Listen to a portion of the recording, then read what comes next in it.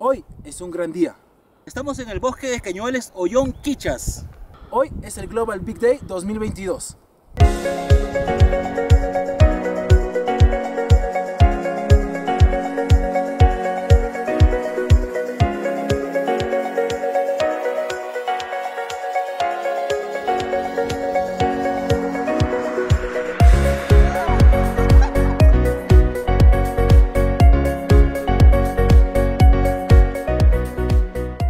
Son las seis y media de la mañana. Estoy saliendo del Hotel Minero, así se llama. Estoy en Ollón, estoy aquí en, la ciudad de Ollón. Y de aquí en unos momentos vamos a partir para ir hacia el bosque de Quiñuas, eh, donde vamos a ir a ver aves hoy en el Global Big Day. Así que aquí comienza nuestra travesía. Hemos llegado a las 1 y 45 de la mañana desde Lima en el bus de Turismo Armonía, la empresa Turismo Armonía. Todo bien, ya descansamos. Así que aquí comienza la ruta hacia la observación de aves para hoy. El bosque de Queñuales se encuentra en la provincia de Ollón, en la sierra de la región Lima, aproximadamente entre los 3.600 hasta un poco más de los 4.600 metros sobre el nivel del mar. Para llegar al bosque, primero se debe llegar a la ciudad de Ollón. El trayecto desde la ciudad de Lima puede durar un poco más de 5 horas. Casi el 100% de la carretera se encuentra en buen estado. Luego, desde Ollón Ciudad, partimos en un auto alquilado por nosotros con dirección norte. Pasamos los pueblos de Cachaucro y Ucruzchaca y en 20 minutos, antes del pueblo del Rosario de Quichas, llegamos al punto de inicio de la caminata.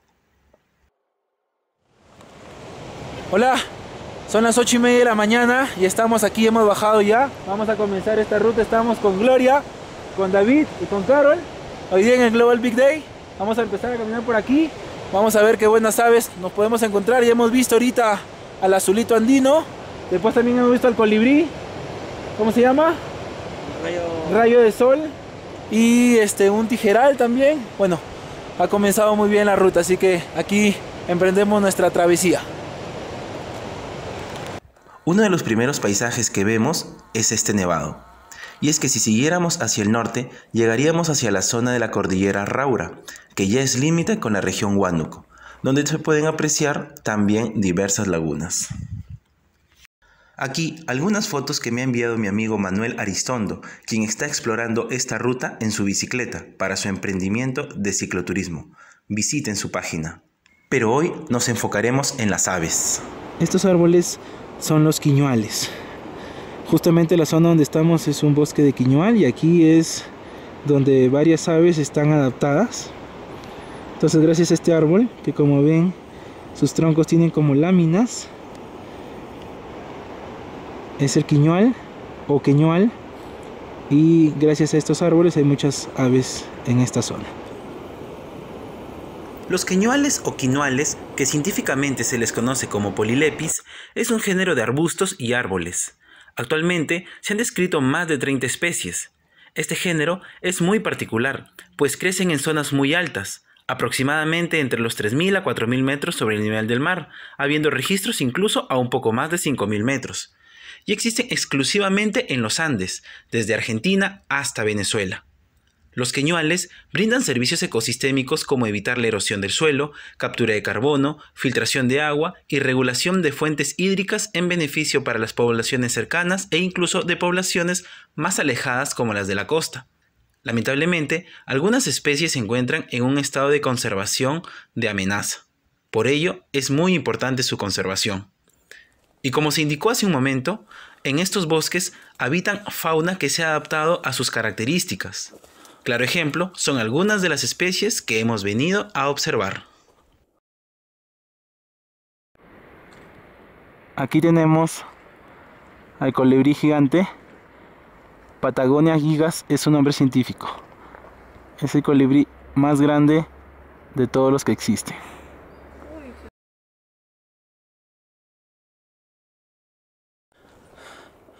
Bueno, ya han pasado una hora, una hora y media.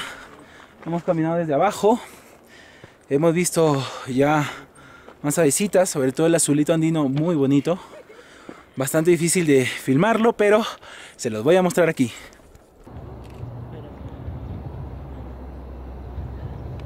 Este es el azulito andino, Miren su color azul en todo el cuerpo.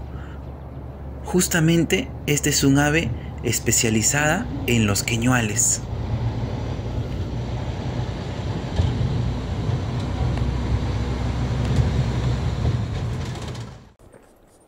Y luego, bueno, hemos encontrado un amigo, Gustavo Bautista, que ya ha estado desde arriba. Viene desde arriba con dos fotógrafos. Estamos subiendo a ver qué más aves podemos ver en la zona más alta. Así que acá seguimos avanzando. Aquí picoteando el queñual, un poco difícil de filmarlo, está el pico de cono gigante. Así que les muestro estas fotos compartidas por mi amigo Denis Osorio, quien ha visitado ya esta zona en varias ocasiones.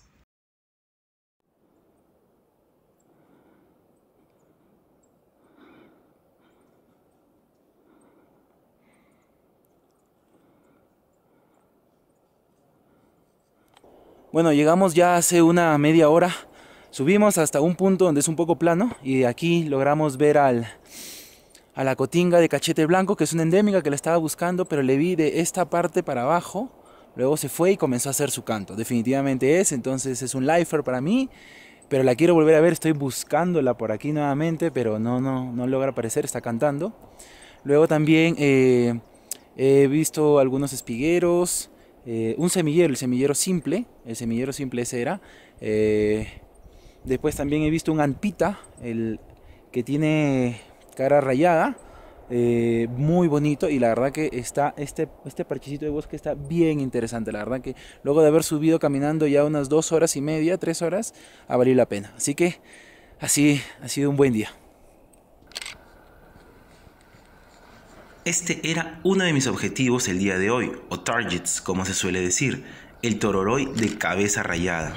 Es la primera vez que veo esta especie, y no solo eso, sino el primer ejemplar que veo del género Gralaria.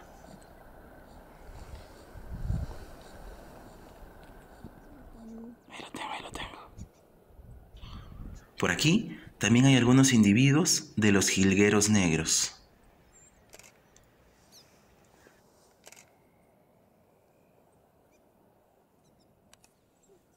Este es un fringilo peruano. Esta especie es relativamente fácil de ver cuando uno va a la sierra, y no es tan difícil de identificarla porque destaca su pecho dorado contrastando con su cabeza gris. A este amiguito he tenido que seguirlo por varios minutos. A veces puede quedarse quieto por mucho tiempo, pero también se mueve rápido cuando lo hace.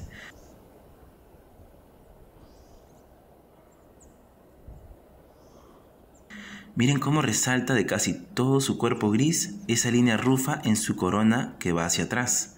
Ello le da el nombre de dormilona de nuca rojiza. Y aquí otro de mis objetivos, el rayo de sol brillante. Sí, es un colibrí. Lo hemos observado desde el inicio de la caminata, pero recién podemos filmarlo. Felizmente, ahora podemos mostrárselo. Hoy estamos contentos de haber visto muchas aves nuevas, tanto así que estamos felices bailando, haciendo el ridículo. Ahora sí, vamos de regreso, pero nos dieron un aventón. Bueno, acá nos están jalando en el carro, estamos ya volviendo, bajando y el carro nos está esperando en la base. Bueno, ya nos encontramos nuevamente acá abajo. Nos ha jalado Gustavo Bautista con sus amigos, Miguel Morán y Jaime Talavera en esa camioneta. Y es que esto de la observación de aves también es compañerismo. Le hemos pasado bien, bacán, hemos aprendido un montón, hemos visto buenas especies, le he pasado genial. Acá con los chicos, saluden. Hola. Entonces, eh, esperemos que les haya gustado todo este video y hasta una siguiente aventura y recuerden que siempre estamos entre aves. Hasta la próxima.